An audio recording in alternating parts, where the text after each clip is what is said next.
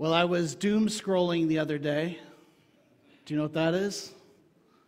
It's where you're on your phone and you just get stuck going through video after video after video, meme after meme after meme. Yeah, it's a trap.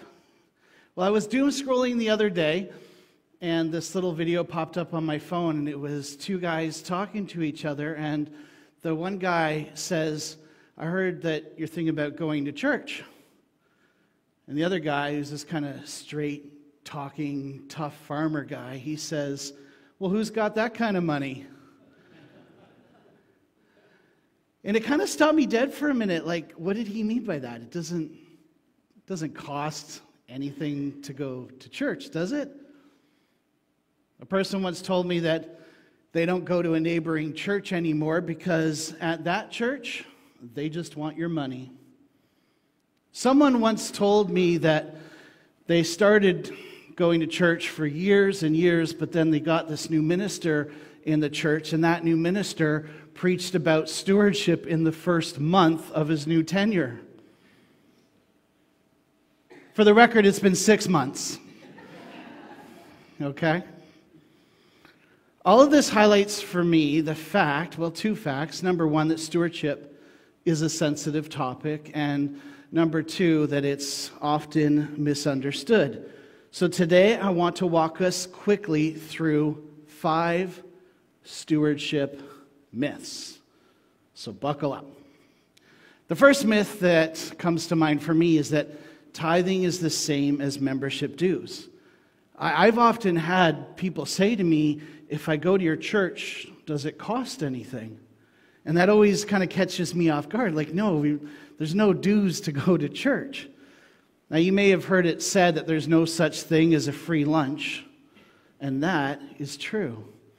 Everything in life comes at a cost, but that doesn't necessarily mean that you have to pay that cost. Take church, for example, it costs you nothing to attend. There might be some cab fare, maybe some gas to get here, but once you're here, there's no entrance fees.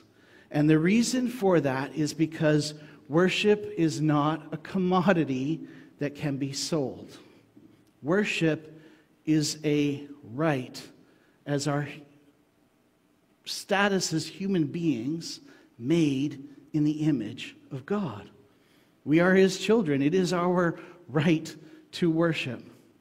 Now, Jesus often made this clear Think of the time he cleared out the temple. He got the whip, he overturned those tables and got rid of those money lenders. He said, I will not have this house of God, my father's house, turned into a den of robbers. Also, remember what happened on Palm Sunday, right before he even got to the temple.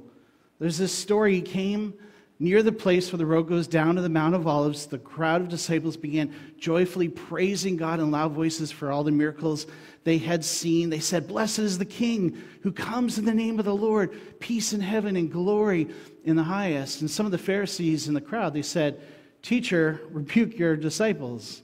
They're overstepping here. Obviously, you don't deserve this kind of praise.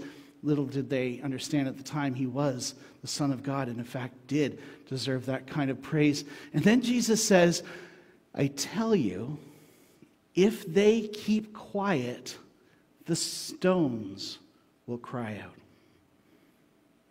Worship is our right as human beings. It's, it's a natural expression of love from the created to the creator, and it's so a part of creation that Jesus says if we don't worship, then creation itself will cry out with praise. And that's why we will never, ever charge admission at the door. We'll never have one of our larger ushers escort you out if you don't put a 50 in the plate.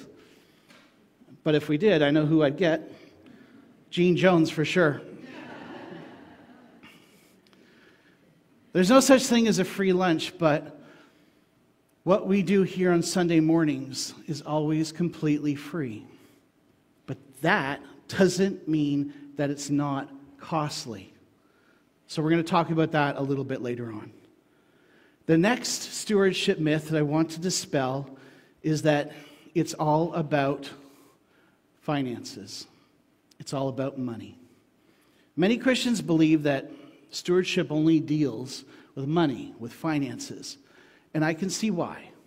When we talk about stewardship in the church, we usually talk about it being behind on the budget. We need money for a project. We definitely need more money. Stewardship is about money, stewardship is about finances, but it's also about so much more. A good definition of stewardship is the responsible overseeing and protection of something considered worth caring for and preserving.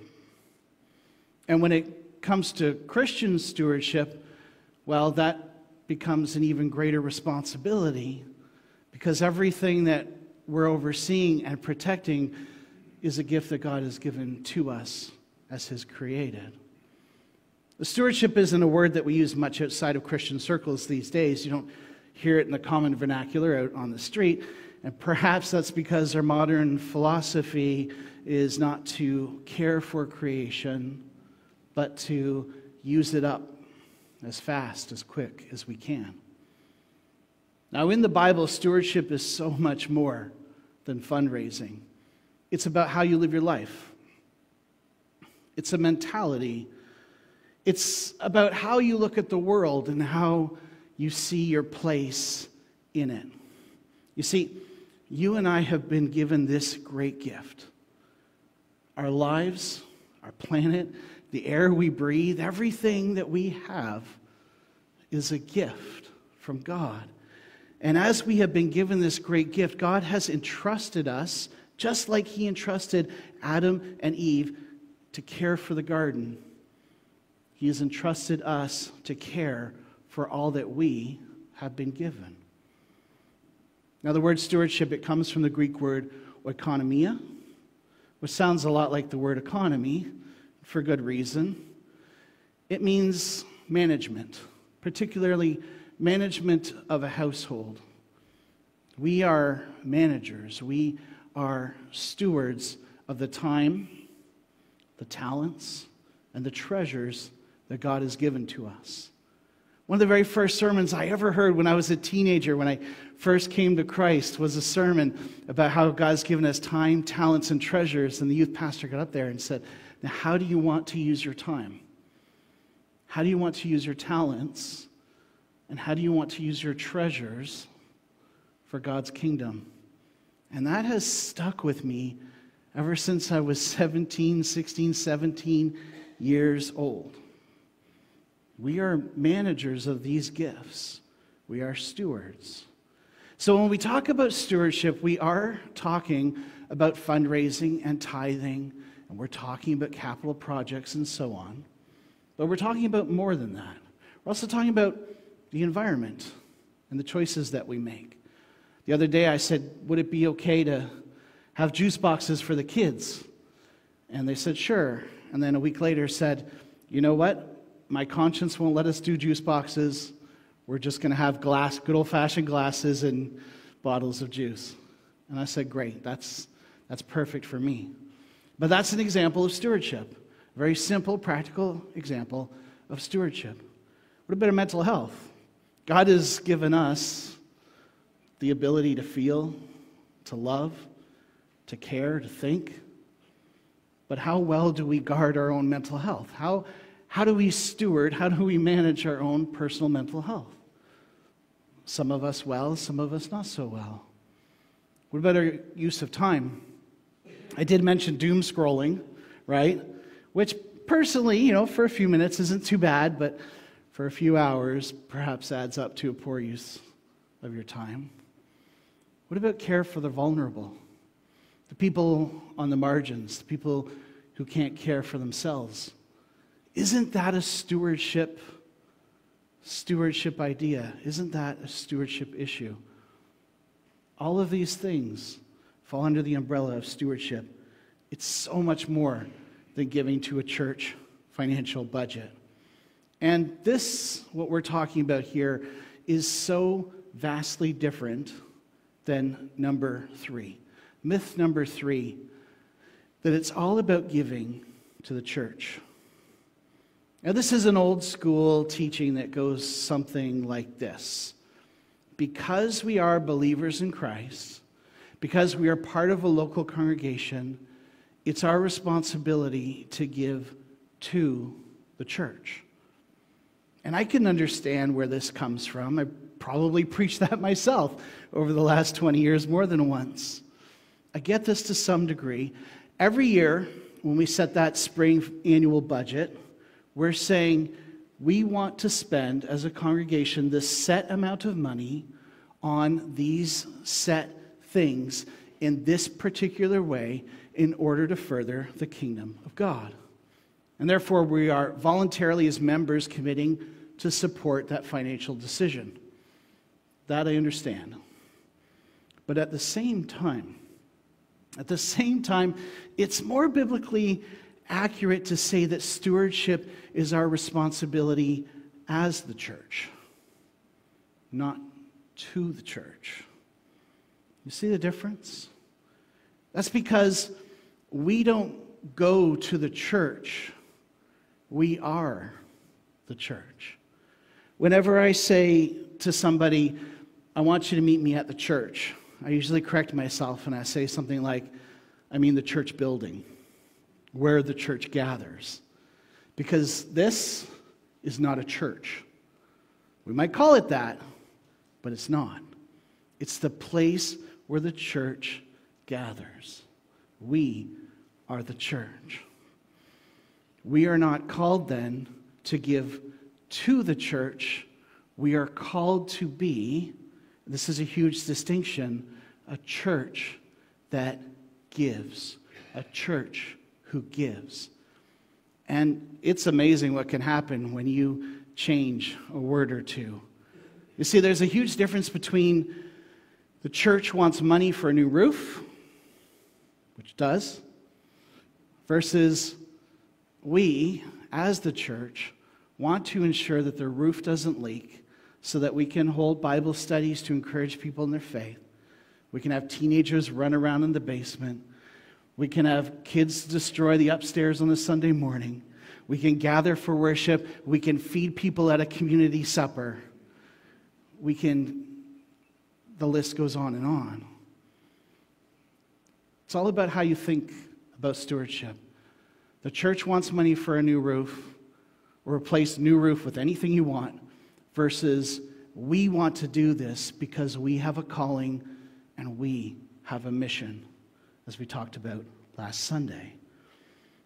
So, when you look at stewardship as giving to the church, it often then leads to myth number four. And myth number four is it's someone else's problem. It's someone else's problem. Are you familiar with the term diffusion of responsibility? It's fascinating. We, as human beings, we have this thing where if you're in a small crowd, you feel very responsible for the things that happen around you. When you're in a large crowd, that responsibility is diffused, and you feel very little responsibility for what happens around you. And so, let's say you're out on the street and there's five or six people walking down the street, and one person attacks another it is very likely that those four people not involved, very unlikely that they will just walk on by.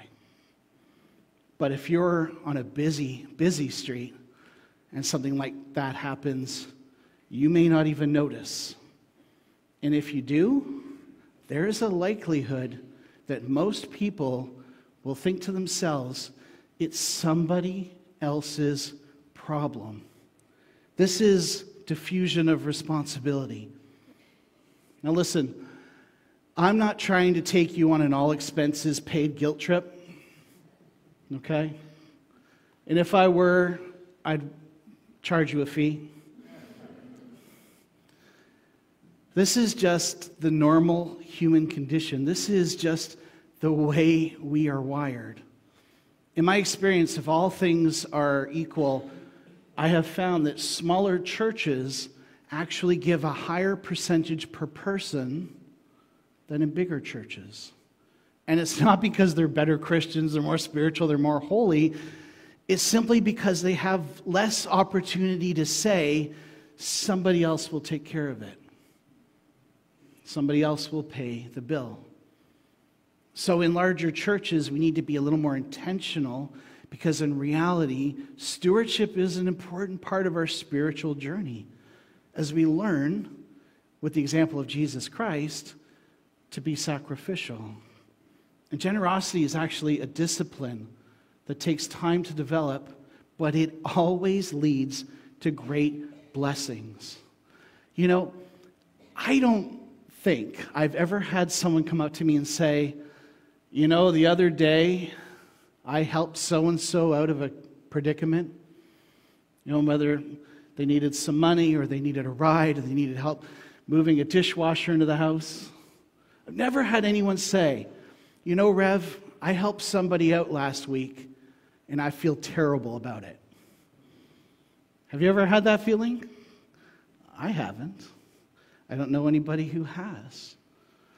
It is a joy in many ways to participate in what God is doing around us, to jump in and lend a hand. Generosity goes along with that. Finally, our last stewardship myth that I'd like to bust today brings us right back to the beginning. They just want your money. No, we don't. We really don't. I have to tell you, in fact, we hate, hate talking about money. We hate budgeting. We hate accounting. We hate spreadsheets. Okay, maybe this is personal. Maybe I hate spreadsheets. Maybe Denman loves them. I don't know. Denman, do you love spreadsheets? Where'd you go? No? Yeah. We don't like talking about money, folks. We really don't. And we are very, very aware that life is getting more and more expensive by the day. More and more, when you look at your bank account after you pay your bills, there's not a whole lot left in that bank account. Believe, I understand. It, it makes us uncomfortable asking for money. It makes me uncomfortable talking about money. And it makes us so uncomfortable that Many pastors just never, ever talk about it. They ignore the topic altogether. But it's my calling, it's my responsibility to give you a full diet from the scriptures. I don't get to ignore the parts that I'd rather not preach. And the Bible says, and I'll just give you a couple verses if anyone has material possessions and sees a brother or sister in need, but has no pity on them, how can the love of God be in that person? After all, our model for generosity is Jesus Christ Himself. And as we read in the book of Romans, God demonstrates His own love for us in this while we were still sinners, Christ died for us. This is why we do what we do. This is why we fundraise and we make appeals and we sit through long, boring meetings about finances. Not because we love it. We do it because, as the body of Christ, we want to carry on his mission in this broken world. We want to be the healers that Jesus was in this hurting world. Now, in the beginning, I said that there's no such thing as a free lunch, and that is true. We do not car- charge a cover fee to attend worship or youth group or even most of our many programs, our concerts and our events. And we have some pretty amazing programs, concerts, and events for all ages. And at the same time, it does take a great deal of resources to make all of these ministries happen. They don't just happen by accident. Like the coffee hour or the choir, the Love Your Neighbor program, the community dinners, or the youth group. These amazing ministries that touch so many people in Collingwood, they don't happen by accident. But here's the thing, and this is the most important thing what we give to your church can never, ever compare to what our God has given up for us.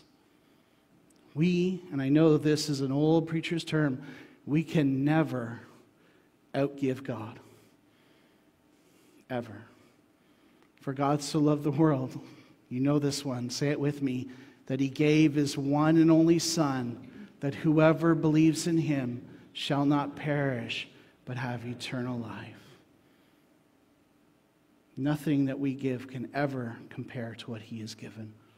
Our salvation was purchased at such a high cost. And not one of us here has paid or will pay a single, single penny. So, in a way, I think that straight talking farmer was right. Who's got that kind of money? Not you, certainly not me, but thanks be to God that He paid it all. Let us pray.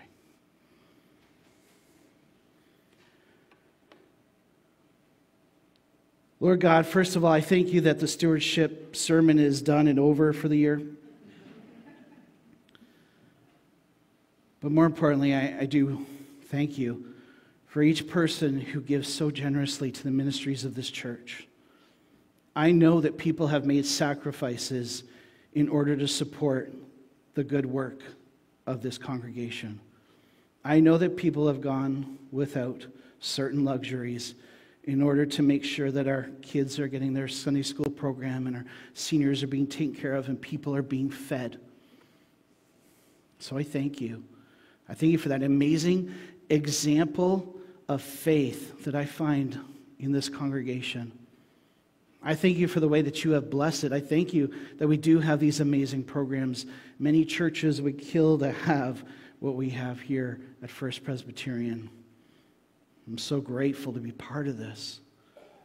So, would you continue to guide us into the future and direct us and lead us to help us know how to best be your church here in Collingwood? And may the things that we do be felt far beyond the borders of this community. We thank you for your great love. We thank you for your Son, Jesus Christ, and the life that he gave for us that while we were still sinners, he died for us. And his love is so great, so vast beyond measure, that we can never, ever repay you for all that you have done. We ask for your forgiveness for the times where we have not been good stewards, particularly of the world around us in which we live. We ask that you would guide us and lead us to be better stewards in many ways. I thank you for the leaders of this church who watch over it, for the property and the finance teams, for the session and the CE teams, and so on that spend so much time nurturing and loving the people that come through our doors, and that in fact often go out past these doors into the community with your gospel of grace and love. And so, Lord, on this Stewardship Sunday, May you soften our hearts.